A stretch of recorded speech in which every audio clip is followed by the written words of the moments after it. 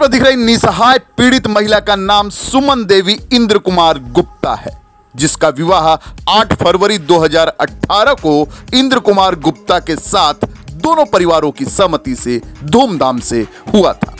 Pragati Mandal S R A cooperative housing society Maratha colony, Golibar, Santa पूर्व में रहने वाली, लेकिन इस पीड़ित महिला की खुशी ज़्यादा दिनों तक नहीं रही।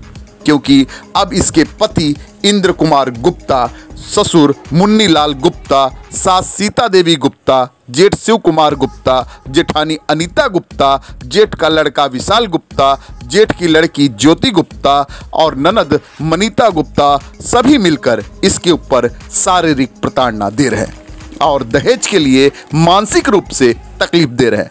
यह महिला कई बार पुलिस स्टेशन में शिकायत कर चुकी है और अब प्रशासन से खुलकर मदद मांग रही है। गंभीर प्रश्न यह है कि कहीं दहेज की बलि सुमन भी न चढ़ जाए।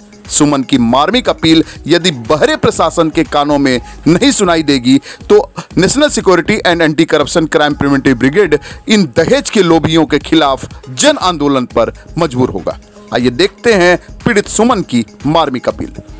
मेरा आदमी रोज झगड़ा करता रहता है रोज मारपीट करता रहता है। जब भी आएँगे तो बोलेंगे कि यहाँ से निकल। ये हमारा घर है तो अपने मायके से पैसा लेके आ तभी तुझे इस घर में रहने दूँगा। मुझे घर से बाहर भगा देंगे। और मुझे घर में रहने नहीं देते हैं। और इनके मेरे सास ससुर को बोलूँगी तो बोलते हमें कुछ नहीं मालूम है। फुकट का नहीं मिलता है सब चीज़। जब अपने घर से पैसा लेके आ। तो मैं कहाँ से लेके आऊँगी? रोज मारपीट करते रहते रात को आएँगे तो कभी बिस्तरा भिगा देंगे। कभी रहने नहीं देते, मुझे घर से बाहर निकाल देते हैं। हमें पुलिस चौकी में कितने बार जाओ कंप्लेन करने के लिए? मैं परेशान हो चुकी हूँ। और मेरी ननद लोग भी आते हैं, बोलते हैं, तुझे इस घर में रहने नहीं दिया जाएगा तो मैं कहाँ जाऊँगी? और मैं अगर कुछ कर भी ली तो सारी ज़िम्मेदारी मेरे सास ससुर और मेरे आदमी के ऊपर आएगा।